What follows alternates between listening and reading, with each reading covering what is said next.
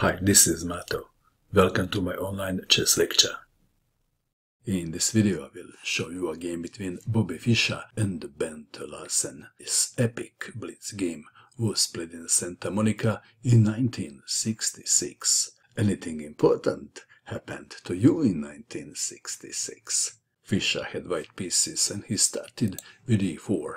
Larsen played knight to f6, the Alekhine defense e5, knight to d5, d4, the standard move, d6, knight to f3, d takes on e5, knight takes on e5, knight to d7, challenging the knight on e5, white to move.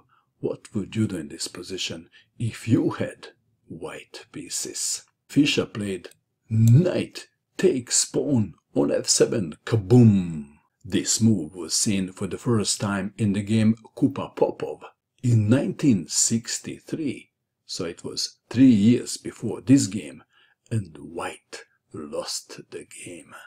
The game continued, king takes knight, queen to h5 check, king to e6, queen to g4 check, king to f7, queen to h5 check, black to move. If g6 then queen takes knight. King to e6 was played, queen to g4 check. This was the critical moment. Black can choose between draw and trying to win by playing king to d6. What would you do? Most players would be happy with a draw. But Fischer predicted that Larsen would try to win and this is what happened. Instead of going for a draw, king to d6, going for the full point. c4, attacking the knight. Black to move, knight from 7 to f6. Let's take it back. How about knight from 5 to f6? What happens then? Then c5 check, and black is in trouble. For example, king to d5, knight to c3 check, king to c6, and then bishop to b5 check mate.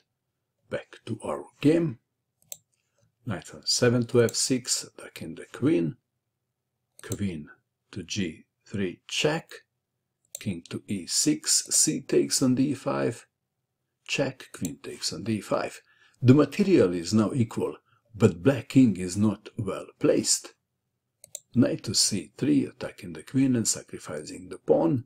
Queen takes pawn on d4. Bishop to e3. Queen to b4, threatening queen takes pawn on b2.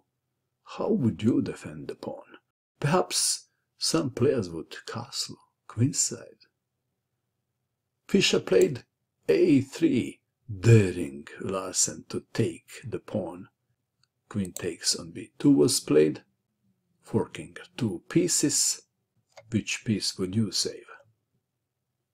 Fischer played bishop to c4 check, king to d7, rook to d1 check, king to e8, white played a move and black resigned, and the move is knight to b5 attacking the pawn on c7 threatening a checkmate.